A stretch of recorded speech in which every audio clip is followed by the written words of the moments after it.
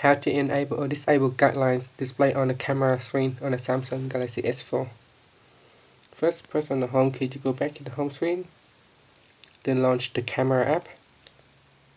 Tap on the menu key at the bottom. From the pop-up, choose settings. In settings, tap on the setting icon tab at the top. Then scroll down, choose guidelines. Here, tap off or on then tap anywhere on the screen to close the settings screen. That um, the guidelines is uh, off. So you can turn it back on by doing the same thing. Then tap on on. And now you can see the guidelines appear on the screen.